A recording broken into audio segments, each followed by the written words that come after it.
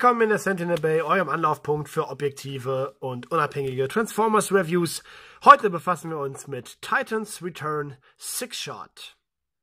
In Sachen Zubehör kommt Six Shot mit dem ähm, serientypischen Titan Master. In diesem Fall ist das Revolver.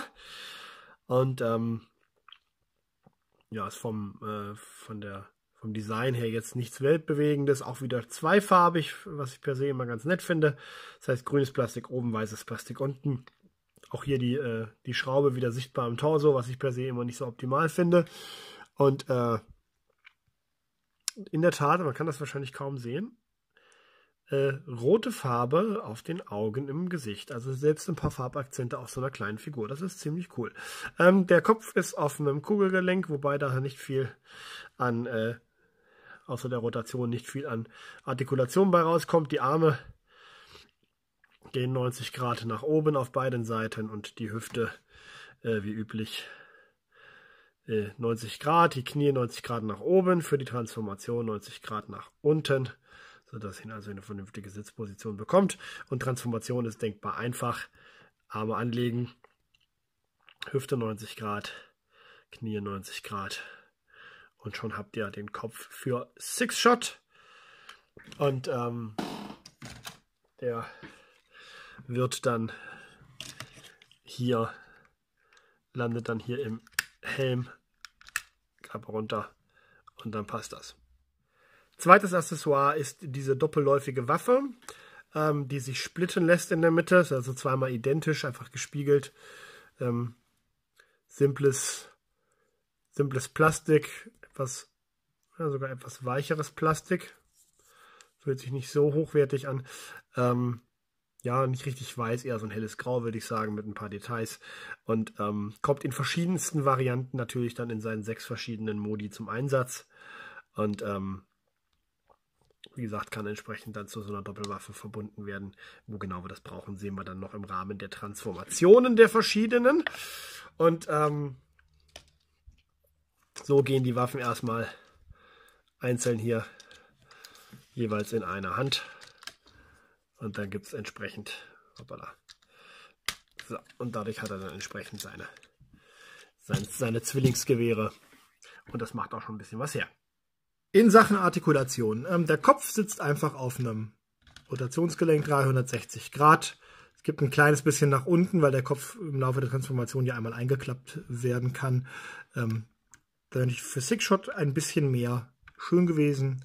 Nach oben gibt es nichts und der Helm lässt sich entsprechend öffnen, haben wir schon gesehen. An den Schultern ähm, ist das hier leider das höchste der Gefühle. Ne, aufgrund des, ähm, des Aufbaus hier oben an der Schulter, also gibt, die, gibt das ganze Design einfach nicht mehr her. Auch das, es gibt hier dieses Transformationsteil, ähm, Dadurch rutscht der Arm ein Stück nach unten, bringt einen aber auch nicht so richtig weiter. Also kann man sich das auch schenken. Zumindest löst man sich unabsichtlich aus. Das ist eine ganz gute Geschichte. Dann ähm, für die Rotation des Arms ist der Flügel hier natürlich im Weg. Und ähm, verkantet sich dann hier auch schon mal. Also wenn man ihn rotieren will, macht das Sinn, den Flügel per Hand beiseite zu schieben und dann kriegt er den Arm auch 360 Grad rundherum. Dann Bizepsrotation, die funktioniert absolut problemlos. Ähm, der Ellenbogen ist ebenfalls stark limitiert, also nicht mal 90 Grad. Man kann es ein bisschen, man kann ein bisschen schummeln. Es gibt ja hier diesen Schieber, ne, den man im Rahmen der Transformation braucht. Dann bekommt man das Ganze weiter, aber geht natürlich die Proportionen auch ein Stück weit verloren. Also ich finde, es ist in dem Fall mal kein zulässiger Cheat. Sonst äh, mache ich ja sowas auch ganz gern, aber äh, hier glaube ich, glaube ich nicht vernünftig. Also das finde ich, finde ich definitiv zu wenig. Handgelenk, Finger gibt es keinerlei Artikulation. Es gibt durch die Transformation die Möglichkeit, das Handgelenk so ein Stück nach unten zu justieren. Also natürlich auch ganz weg, aber da macht es irgendwie auch keinen Sinn mehr. Ähm, das ist aber auch alles. Äh, auf der anderen Seite das gleiche. So, dann äh, Hüfte. Nischt. Also keine Hüftrotation. Auch äh, sicherlich ein Nachteil. An der Hüfte selber, an den Oberschenkeln, die zwei äh, die Klappen hier lassen sich entsprechend öffnen, allerdings nur vorne, also hinten, aber äh, geht das entsprechend nicht. Das heißt nach vorne, hier ist es ein gerastertes Gelenk, auch stark ähm, Ah, nee, geht nicht noch eins mehr. Das heißt, nach vorne volle Reichweite, das ist problemlos. Nach hinten entsprechend eingeschränkt hier durch die durch diese, diesen, diesen Teil, der uns da, der uns da blockiert. Ähm, zur Seite hin im Prinzip volle Reichweite ja, aber, jetzt kommt die große, das große Aber, das Gelenk hält es gar nicht. ähm, und das Gelenk auf der anderen Seite, da reicht ein kleiner Tipp und dann äh, löst sich das auch wieder. Also die Reichweite ist da, aber die Stabilität ist nicht unbedingt gegeben. Ähm, am Knie, das Knie geht ja, fast 90 Grad nach hinten, bleibt dann auch hier entsprechend wieder, wieder hängen. Man kann den Transformationseffekt jetzt hier nutzen, könnte es wirklich auch noch weitermachen, aber es ist nicht wirklich am Knie, das ist dann mehr am Knöchel. Also ich sag mal, so ein bisschen kann man das sicherlich, wenn man es braucht, kann man das nutzen, aber dann, dann macht sie die Silhouette auch kaputt und sieht dann einfach auch nicht mehr gut aus. Von daher würde ich das eher nicht machen. Ähm, aufgrund dieses Transformationsgelenkes, also zum einen seht ihr, ich bin jetzt hier verrutscht in der Höhe, ja, äh, das ist nicht so wirklich Sinn der Sache. Ähm, und was halt auch geht, ist nach vorne. Und das macht A, anatomisch keinen Sinn. Vor allem finde ich es aber, weil man, man kann es halt auch nicht irgendwie blockieren durch einen kleinen Schieber oder irgendwas. Ähm, dadurch ist er halt auch so ein bisschen instabil. Ne? Also er kriegt dann doch mal so eine leichte, so einen leichten Drall nach vorne, wenn er in der entsprechenden Haltung steht. Das ist sicherlich nicht, nicht optimal. Und ähm, hier ähm, am Fuß ähm, die Füße selber, also die, die, die Zehen, lassen sich entsprechend nach unten und nach oben justieren. Das ist, denke ich, okay. Und ähm, es gibt auch die Möglichkeit, den Fuß seitlich auszustellen. Allerdings halt nur in einem, also gerastert auf einen relativ großen Radius, also so. Das heißt, wenn ich mir jetzt daraus mal eine, äh, diese klassische Stand bauen würde, würde das so aussehen, ja. Ähm, und jetzt kommt wieder der, der, das zu schwache Hüftgelenk ins Spiel. Dann passiert nämlich folgendes. Ja, also ist eigentlich keine Option. Man kann es, wenn man irgendwo den einen, zumindest eine Seite des Fußes ausstellen will, kann man sicherlich nicht, sicherlich nutzen. Ist aber, glaube ich, auch gar nicht dafür beabsichtigt, ist mehr ein Nebenprodukt der, äh, der Transformation. Und von daher würde ich jetzt sagen, so, ähm, ist das auch nicht unbedingt das Erstrebenswerte. Also in Summe Artikulation, äh, gerade jetzt für eine Leader-Class-Figur, definitiv eingeschränkt. Von der Optik macht er natürlich einiges her, das kann ich nicht bestreiten. Er hat äh, der Kopf erstmal sieht großartig aus mit diesem äh, also weißer Plastik, weißes Plastik für den Helm, dann hier entsprechend weiße Farbe im äh, im Gesicht, die roten Augen, das sieht, das sieht fies aus, sieht gut aus. Also das ist, das ist, wird Six Shot auf jeden Fall äh, gerecht. Ansonsten allerdings rundherum um den ganzen Kopf kein bisschen Farbe mehr. Hier hätte man vielleicht noch ein paar Akzente setzen können.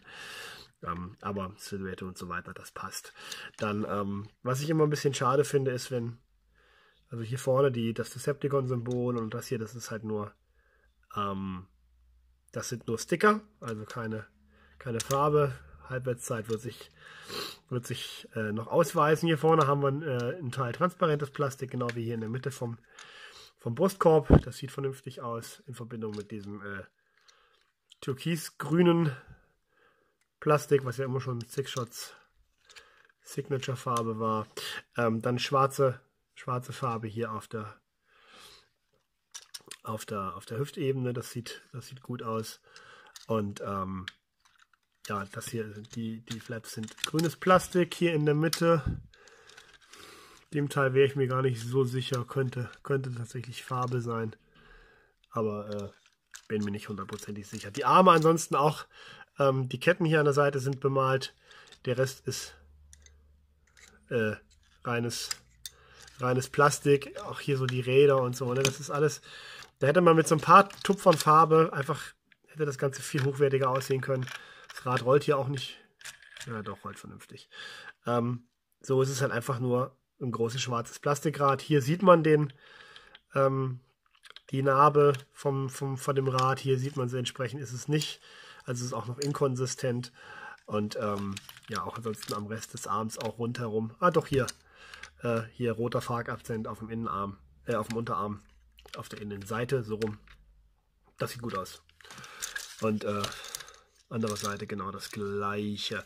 Die Beine sind auch hauptsächlich ähm, farbiges Plastik, beziehungsweise schwarzes Plastik für die Oberschenkel, lila Plastik für die Unterschenkel. Dann haben wir hier schön ähm, schwarz und silber Akzente. Die sind entsprechend gemalt. Hier auch die silbernen Akzente, die sehen alle gut aus, genauso wie hier auf, der, äh, auf dem Fuß und auf der Seite. Hier dieser gelbe äh, Streifen ist auch wieder ein Sticker, dem ich persönlich, äh, der schon die ersten Anzeichen zeigt, dass er abblättert und so alt ist die Figur noch nicht. Also da dem gebe ich nicht allzu lange.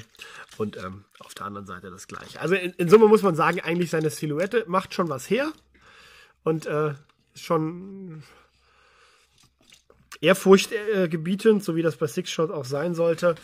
Allerdings ähm, die Tatsache, dass man ihn kaum in Pose setzen kann, schränkt ihn natürlich dann, was seine Präsenz angeht, doch, doch deutlich ein. Äh, was ich noch vergessen habe zu erwähnen, hier hinten die Flügel, die sind auch entsprechend ähm, silber bemalt, würde ich jetzt mal sagen. Es sieht so ein bisschen nach Chrome-Finish aus, sieht schon gut aus. Mit der grünen Farbe hier und an einem und an äh, zwei Stickern da und da. Und auf der anderen Seite dasselbe. Und auf der Innenseite, es ein bisschen beiseite klappt. Hier ist noch ein bisschen transparenter Kunststoff für das Cockpit. Und ähm, hier nochmal diese grünen Farbakzente. Das ist alles soweit. Okay. Zum größten Vergleich habe ich mir hier mal den Power of the Primes, Rodimus Prime, ähm, dazu geholt als, als Leader-Class-Figuren. Die zwei haben ungefähr die gleiche Größe. Rodimus Prime ist ein bisschen größer, ein bisschen äh, breiter, aber ähm, in Summe sind die schon sind die gut vergleichbar und ich denke, das passt auch. So, die Transformation wird natürlich jetzt knifflig, weil wir uns hier durch sechs Modi durcharbeiten müssen. Aber wir machen das einfach Schritt für Schritt und immer zwischendrin schauen wir uns den jeweiligen Modus an. Ähm, als erstes, die Waffe haben wir schon beiseite gelegt. Als erstes muss der Titan Master entfernt werden. Dass wir einfach den Helm öffnen, den Titan Master rausnehmen und den Helm entsprechend wieder schließen. So, dann hier vorne die Brustplatte auf, den Helm einmal 360 Grad drehen, hier versenken. Dann, das finde ich ziemlich clever, die Flügel einklappen und die verschwinden nämlich jetzt hier in diesen beiden äh, Schlitzen sozusagen und sind dann erstmal aus dem Blickfeld. Das finde ich ziemlich clever gemacht. So, dann kommen die, die Reifen hier entsprechend nach vorne. Hier diese ähm, Kettenteile können, sind auf einem, auf einem Doppelgelenk. Das heißt, können wir jetzt einmal rundrum. Hier das gleiche. Zack. Das ist soweit, okay. Dann ziehen wir die Arme an. Auch ein bisschen fest, aber funktioniert. Langziehen. 180 Grad drehen die Hand wegklappen. Auf der anderen Seite machen wir das gleiche. Lang. 180 Grad wenden. Und dann das Ganze zusammen. Und dann sind wir mit dem oberen Teil auch schon ähm, soweit im Prinzip fertig. Dann kommt als nächstes die, ähm, die Füße. Die werden auf der Vorderseite eingeklappt. Hier werden diese krallenähnlichen äh, Füße entsprechend ausgeklappt und dann kommen diese beiden Teile, werden hier nach oben geklappt und zwar so, bis es einrastet. Hoppala. So. Da sind viele Gelenke. Habe ich hier, glaube ich, ein Gelenk zu viel bewegt. So. Es ist also alles ziemlich, dadurch, dass es so viele Teile hat und so viele bewegliche Teile auch hat, ähm, ist es nicht so ganz einfach. Die ähm, Flügel also diesen Teil der Flügel 90 Grad aufrichten, dann werden die Flügel entsprechend runtergeklappt. Hier ist ein kleiner, ein kleiner Schlitz und hier ist ein äh, entsprechender Stift, sodass das auch vernünftig dann entsprechend einrastet. Jetzt werden die ähm, diese zwei entsprechend nach vorne geklappt und aus der Anleitung war nicht so ganz raus zu ersehen, wie weit das Ganze nach vorne soll. Es gibt auch keinen äh, ja keinen richtigen Punkt nach meinem Dafürhalten, wo das Ganze sich so richtig, äh, wo das irgendwie einrastet oder ähnliches. Das ist alles so ein bisschen gut dünken. Ähm, etwas, was mir per se nicht so gut gefällt. Dann die Flügel hier entsprechend anlegen. So. Und dann kommen unsere Zwillingswaffen zum Einsatz. Hier ist nämlich ein, hier ist dieser, dieser schmale, lange, schmale Port und hier ist entsprechend das Gegenstück äh, hier. Und da werden die einfach auf beiden Seiten. Das ist gar nicht so leicht mit einer Hand. So.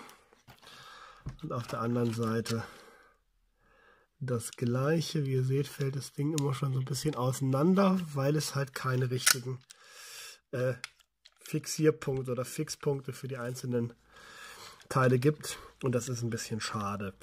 Das war es im Prinzip. Jetzt soll laut Anleitung, hier ist noch entsprechend das Cockpit, ähm, sollen wir den Titan Master dann noch unterbringen können. Ich, ich habe es jetzt beim ersten Mal nicht geschafft. Ich versuche es jetzt mal mit angeklappten Armen, ob ich da mehr Glück habe.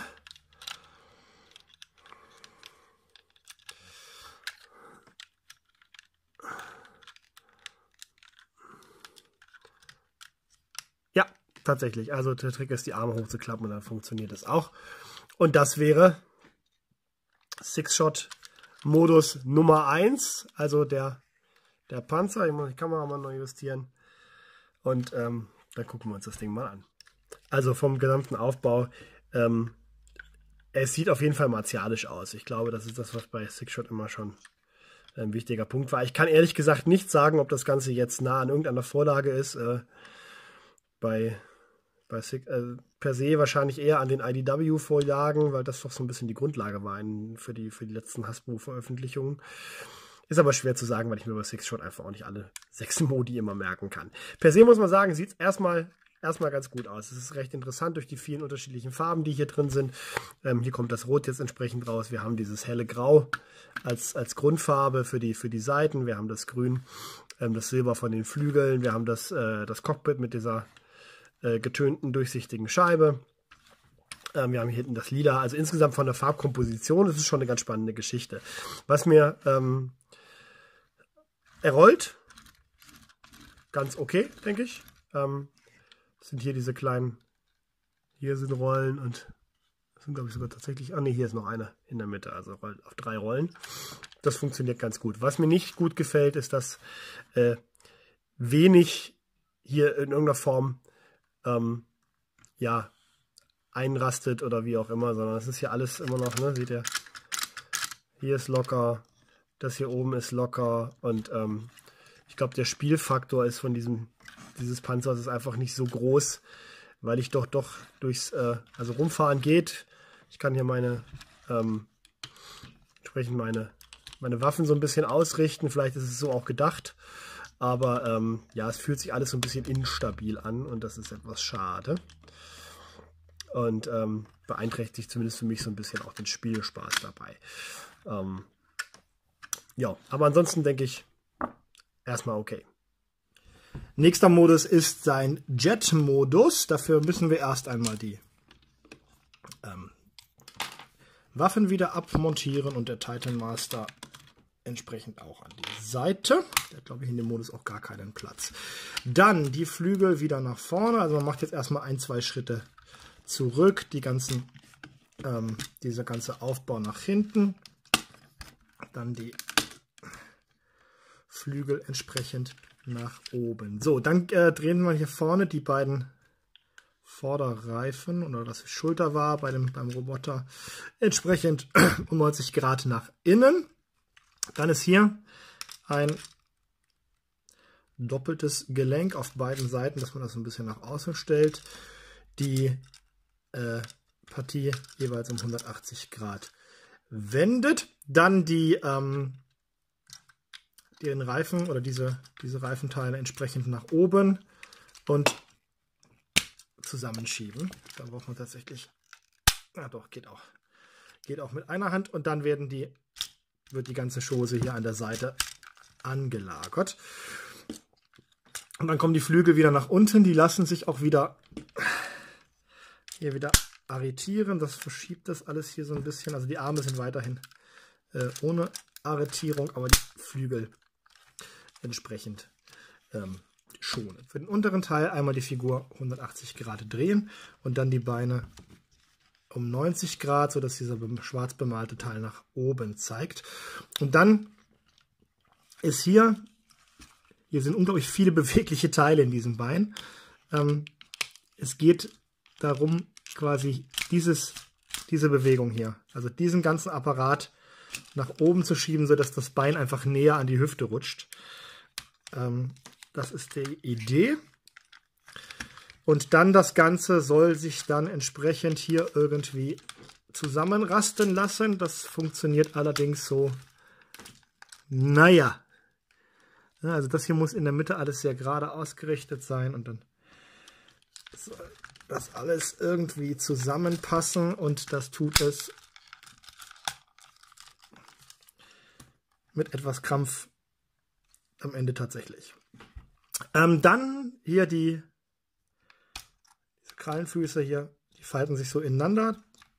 Ihr seht, der hier bleibt nicht drin. Das ist ah, jetzt mit ein bisschen Gegendruck gucken, ob es, ob es entsprechend hält. Dann die, ähm, diese, ähm, die Füße sind auch wieder auf so einem doppelten, also hier einmal nach unten und dann rum, sodass es also hier die Schraube und das in einer Linie sind. Und hier das gleiche. So. Dann die ähm, den vorderen Teil entsprechend drehen. Hier genauso. Und dann schließen diese zwei hier vorne sich zusammen. Auch hier soll es einrasten. Auch hier tut es das mitnichten. Dann die Brustplatte auf, dass die Flügel entsprechend wieder rauskommen. Die bleiben dann in so einer halbschrägen Position sollen sie bleiben, kann man sich allerdings ausrichten, wie man möchte. Und dann kommen wieder unsere, ähm, kommt wieder unsere Zwillingswaffe zum Einsatz, die hier entsprechend wieder auf den gleichen, in den gleichen Slot kommen wie beim Panzer. Hoppala. So, ja, das ist, der Flügel ist halt hier immer lose, das heißt, es ist so ein bisschen äh, herausfordernd, das alles zu justieren. Und dann wäre der Jet auch schon fertig. Ja, der Jet ist naja. Nicht begeisternd, ähm, was man objektiv sagen muss. Der Teil hier vorne, also der vordere Teil,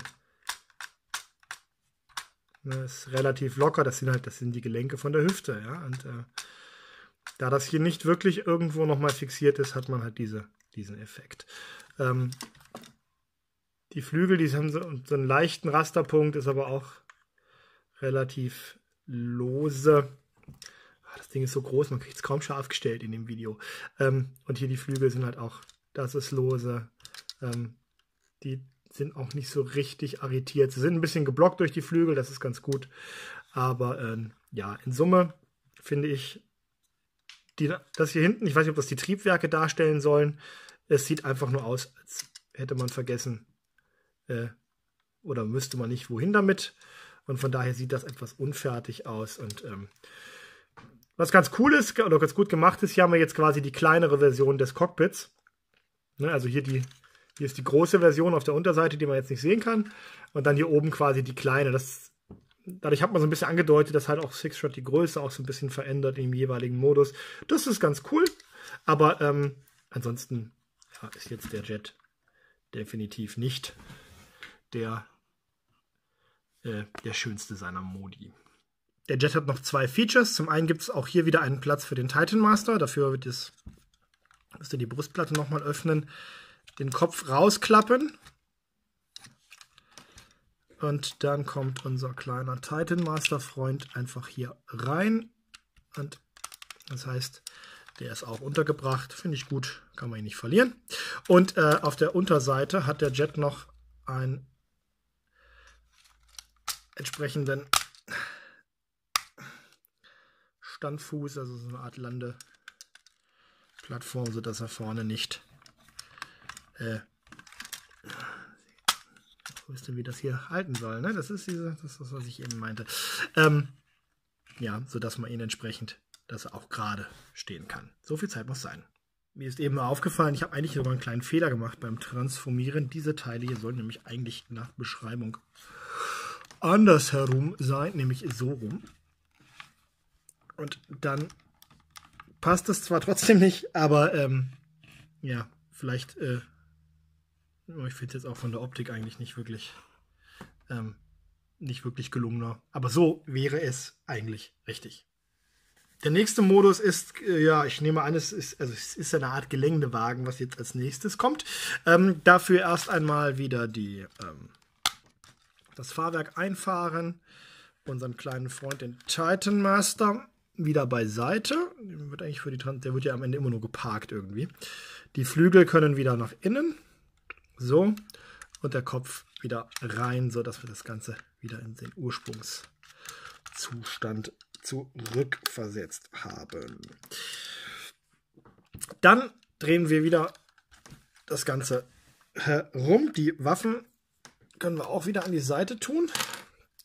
Und dann die Flügel entsprechend wieder in die äh, aufrechte Position. Im vorderen Teil die Front entsprechend aufklappen und dann die muss ich kurz gucken, dass ich es richtig rum mache diesmal. So, dass also die silberne Seite nach vorne zeigt. Und hier genauso. Ähm, und dann können wir, werden die wieder an die Seite, in die ursprüngliche Position gebracht. Hier ist so ein kleiner, ne, hier ist ein, ein, ein Stift und da ist entsprechend der Gegenteil oder das Gegenstück und dann muss man das da entsprechend ran justieren. Das geht mal gut, mal weniger gut. In dem Fall war es okay. Dann ähm, die Seitenteile entsprechend wieder ausfahren. Dann kommen in diesem Fall jetzt beide Reifen nach außen, also alle vier eigentlich, um es ganz genau zu sagen. So und so. Ähm, die, die Arme wieder, wollte schon drücken, aber ist ja schon gedrückt, entsprechend wieder verlängern. So, und dann die Ketten, dieses Kettenteil, wieder an die Seite, auch hier in die Ausgangsposition.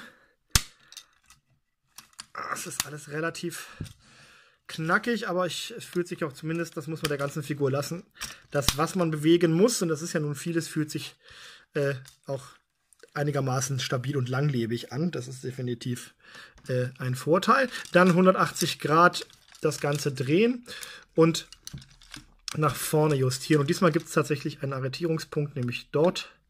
Ne, Stift, Gegen, Gegenstück. Und dann das Ganze einmal entsprechend festigen. Dann können die Flügel wieder nach unten, die wieder in dieser, in dieser Position einrasten. Die kommen dann entsprechend nach vorne. Unsere, unsere Waffen kommen diesmal hier oben auf die Flügel. Das heißt also, ähm, dieser dieses Teil in dieses Loch. Ne, halt, Entschuldigung, das flache, der kurze, kommt da rein. So.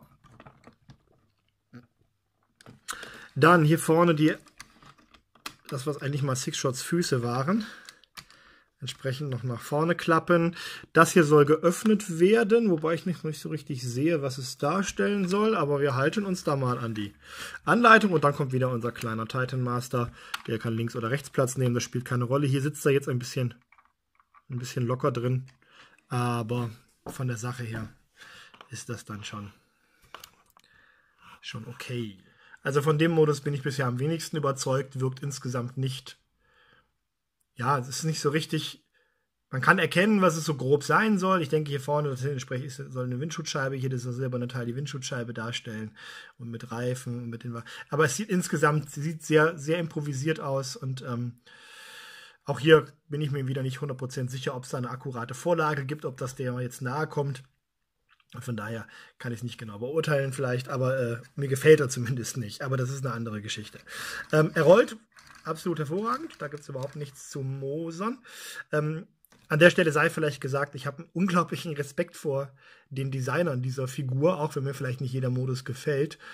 Ähm, ich glaube, es ist unfassbar schwer, sechs Modi in eine Figur zu bauen. Und das ist von daher, dass nicht jeder Modus äh, vielleicht äh, so aussieht, wie man es sich vorstellt. Ich glaube, das ist auch ganz normal, äh, von denen ich bisher gesehen habe. Das definitiv der, der mir am wenigsten gefällt bin ich mal sehr gespannt. Jetzt kommt es nämlich in den Wolfsmodus. Den finde ich noch mal ein bisschen spannender, weil es halt anderes ist als im Fahrzeug. Ähm, der Titan Master fliegt raus, die Waffen kommen ab. Das quasi der Anfang äh, jeder Transformation. Das entsprechend wieder nach unten. Und ähm, dann würde ich jetzt hier, seht schon, das ist der Kopf ne, vom, vom Wolf. Den drehen wir entsprechend nach hinten. Die Flügel gerade nach oben. Und hier vorne die, diese Krallen oder was immer das auch im Geländewagenmodus hätte darstellen sollen, entsprechend einklappen. Dann diese Arretierung lösen und die Seitenteile wieder so entsprechend nach außen. Dann 90 Grad nach unten, das werden also dann die Beine und nach vorne. Hier das gleiche. So. Und ähm, an der Vorderseite dann entsprechend die, die Krallen nach außen. So. Dann an der Rückseite, dafür müssen wir den Kollegen, oh, den müssen wir nicht rumdrehen, können wir so lassen. Die Beine splitten. So schwer wie es zusammenging, so schwer geht es auseinander. Das liegt aber auch daran, dass das hier, ja, das, ja, ne, die so ein bisschen, die, diese Krallenfüße so ineinander greifen. Vielleicht macht das auch, sind die so ein bisschen durch, genau, dann jetzt löst sich das Ganze dann auch. Und dann ist es soweit, okay. Jetzt kommt wieder dieses, äh, dieses Doppelgelenk, was wir vorhin schon hatten. Das heißt, hier das Ganze lösen, nach oben ziehen und wieder einrasten. Auf der anderen Seite das gleiche. So, dann die Beine 90 Grad in diese Richtung drehen und nach unten. Jetzt hier an diesem, diesem Gelenk. Genau. Und auch hier die Krallen entsprechend nach außen.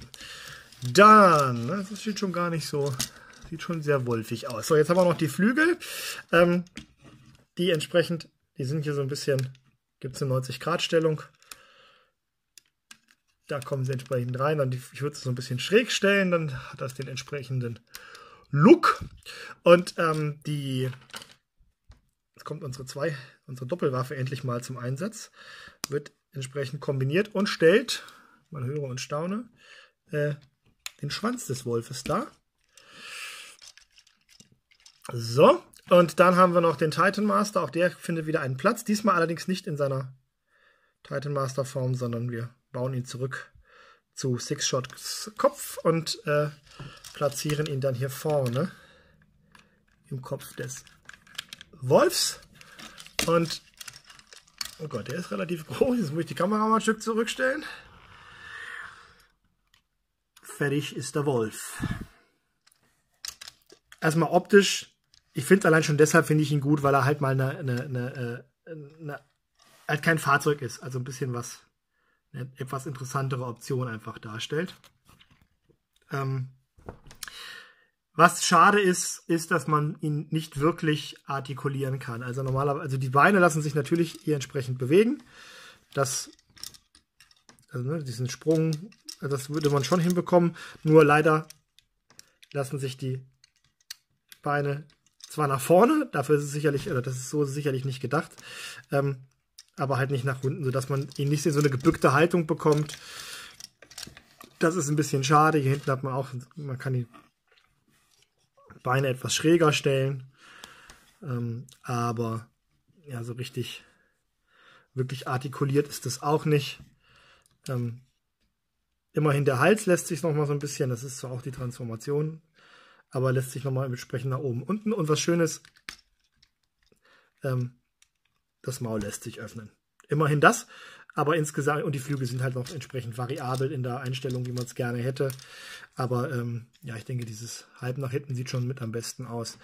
Von daher äh, per se ganz okay vom, vom, vom, vom, vom Gedanken her. Aber ähm, ja, leider in der Spielbarkeit, wie so viele Modi, auch der Wolf ziemlich eingeschränkt. Nächste Runde. Es ist wirklich ein Marathon. Ähm, klar, das übliche Titan Master weg und Waffen weg. Dann ähm, den Kopf nach oben und jetzt muss man ein bisschen das Ganze ausrichten. Die Flügel nämlich entsprechend auch nach oben. Und jetzt gibt es hier diesen hier. Ähm, diesen Schlitz und es gibt diesen Stift am Wolfskopf. Und das muss zusammenpassen. Ähm, am besten geht das, wenn der Wolf einigermaßen gerade ist und die Flügel so einen leichten, äh, einen leichten Winkel nach vorne haben. Ja, wobei, es ist wirklich ein bisschen, also so. So kommt es ganz gut hin. Also Kopf ein bisschen nach hinten und ihr Flügel ein bisschen nach vorne. Der zweite macht sich dann logischerweise einigermaßen von selber. Dann ähm, entsprechend die ähm, erstmal hier die, na, die Teile nach innen.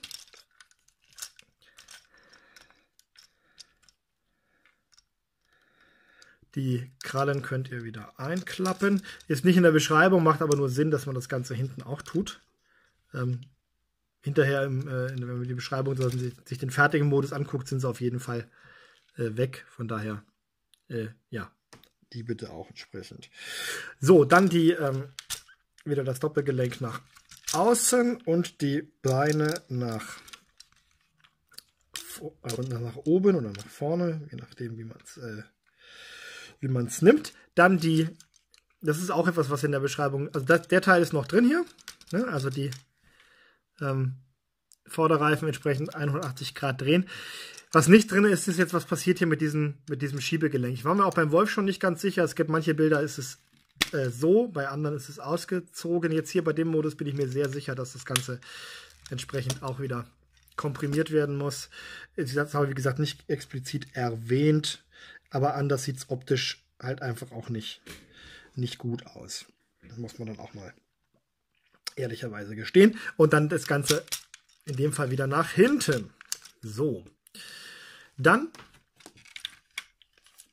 die Beine, die Hinterbeine des Wolfs einmal nach oben, die Krallen entsprechend nach äh, hinten ausrichten, das heißt 90 Grad Winkklappen. Dann die Beine 90 Grad wieder so, dass diese dieses Cockpit-Segment von dem Geländewagen entsprechend nach oben zeigt. Und dann die zwei versuchen wieder irgendwie zusammenzubekommen. Das sieht ihr, ne? Das alles gegeneinander auszurichten ist an manchmal gar nicht so einfach. So ist es aber ganz, ganz gut. Dann kommt eure oder kommt unsere Doppelwaffe hin? Es löst sich hier halt immer, ne? Es ist alles nicht so richtig. Egal, jetzt kommt die, äh, die Doppelläufige wieder hier entsprechend hier vorne drauf. Das stabilisiert das Ganze dann so ein bisschen. Das ist sicherlich ganz gut. Und dann kommt, den parken wir mal ganz kurz, kommt wieder unser Titan Master zum Einsatz.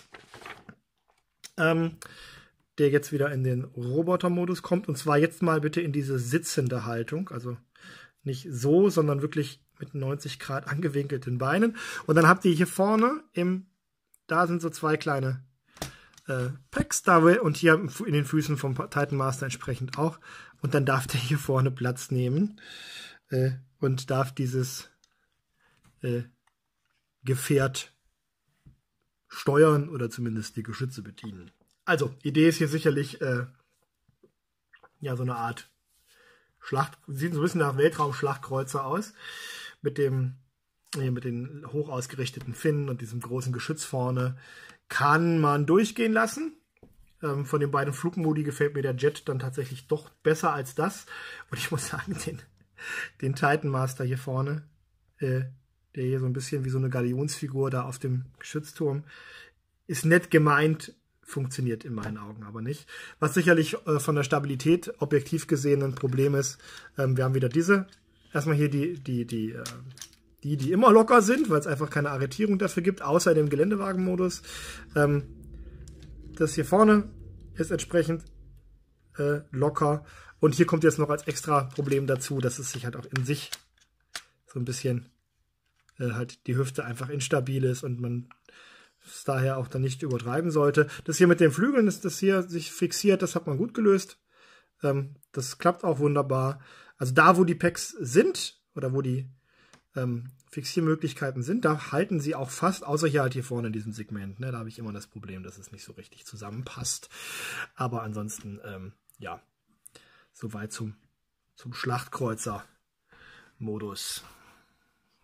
So, und letzter Schritt ist einfach zurück wieder in den Roboter-Modus. Das mache ich normalerweise nicht. In dem Fall finde ich es ganz sinnvoll. Dann haben wir es einmal den, äh, den Kreislauf des Lebens vollendet für, für diese Figur.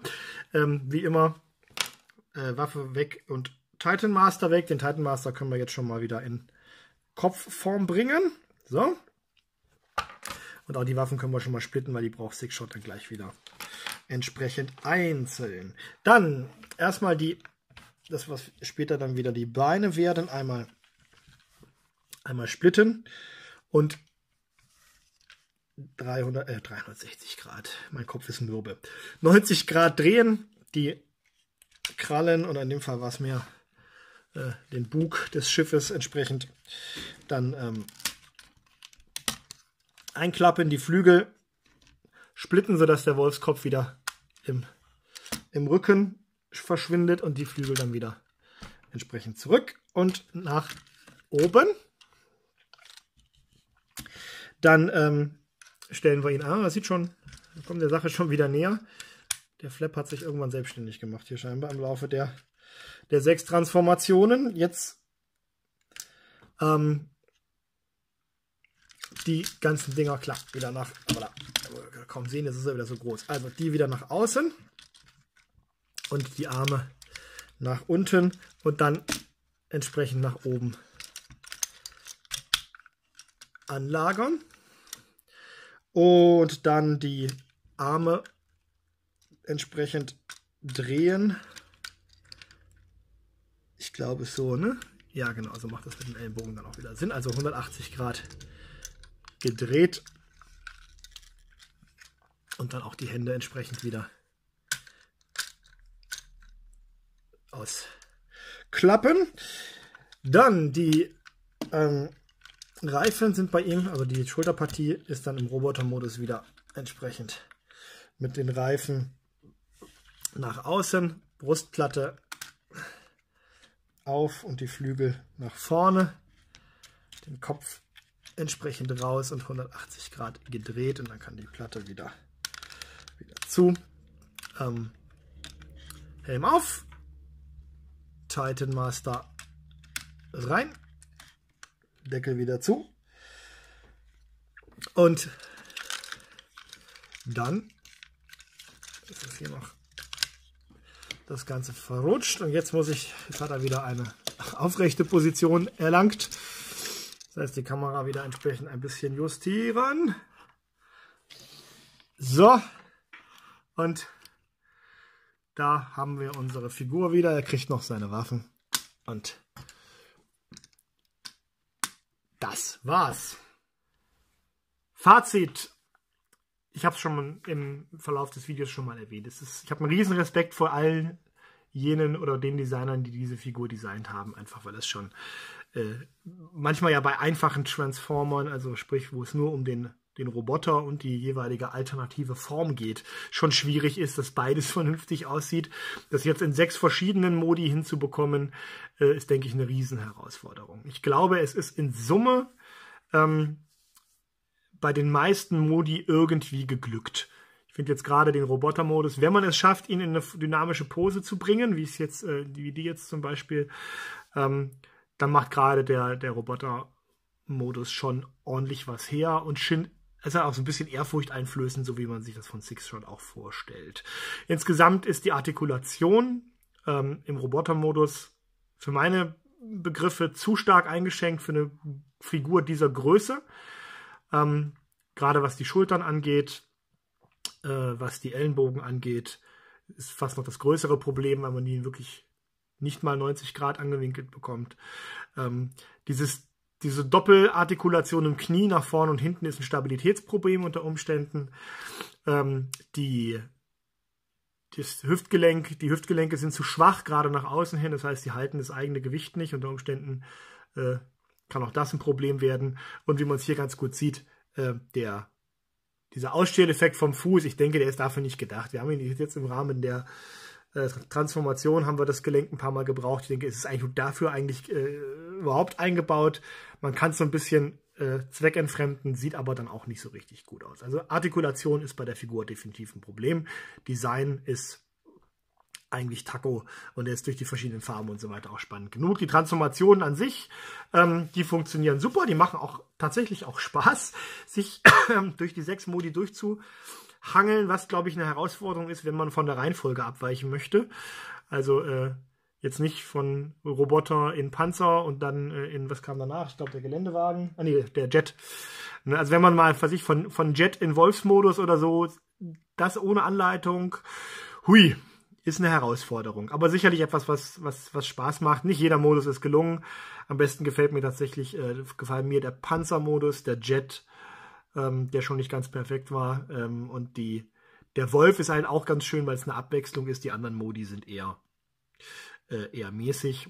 Und äh, ja, aber insgesamt muss ich sagen, ja, ich habe natürlich jetzt viel rumgebaut mit ihm, von links nach rechts und nach vorne und hinten das, was man bewegen muss an der Figur, wirkt zumindest im Rahmen der Transformation sehr stabil.